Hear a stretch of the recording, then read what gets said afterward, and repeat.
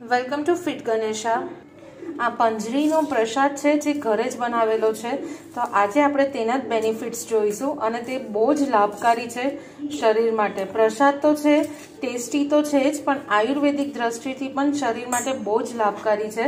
કારણ કે જીરું, અજમો, ખસખસ, આખા ધાણા, સૂંઠ પાવડર, આદુને સૂકવીને તેમાંથી બનાવેલો સૂંઠ પાવડર, કોપરાની છીણ ખડી સાકર અથવા તો મિશ્રી અને થોડું ઘીનો વપરાશ કર્યો છે.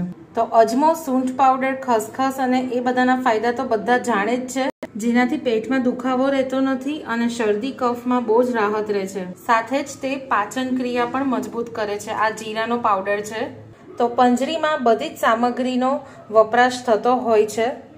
એટલે જ તે સ્વાસ્થ્ય માટે બહુ જ લાભકારી છે અને સાથે તે શક્તિ પ્રદાન કરે છે. જેનાથી શરીરમાં વીકનેસ શરીર નબળું નથી રહેતું. સાથે જ પેટને લગતી બધી જ સમસ્યાઓમાં રાહત આપે છે, પાચન ક્રિયા મજબૂત કરે છે.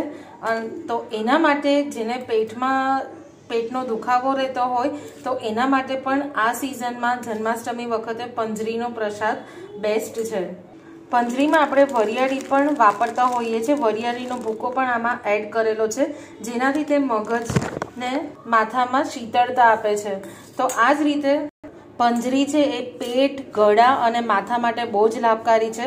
શરદી, ઉધરસ, કફ બધું રહેતું હોય તો એના માટે પણ બહુ જ લાભકારી છે, કારણ કે આની અંદર આપણે અજમો, સૂંઠને લીધે ગળા ગળું પણ ચોખ્ખું રહેશે અને શરદી, ઉધરસમાં પણ ફાયદો થશે.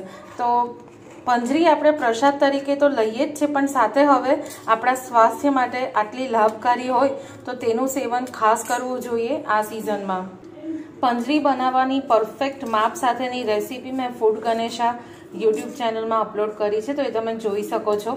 તો ખાસ તમે ઘરે બનાવી શકો છો અને નાના બાળકો માટે પણ બેસ્ટ છે.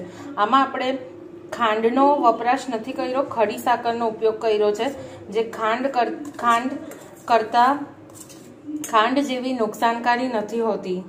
તો આ જાણ્યા પછી તમે ખાસ પંજરીનો પ્રસાદ લેજો, ખાજો અને બીજા સાથે પણ આના બેનિફિટ્સ શેર કરજો.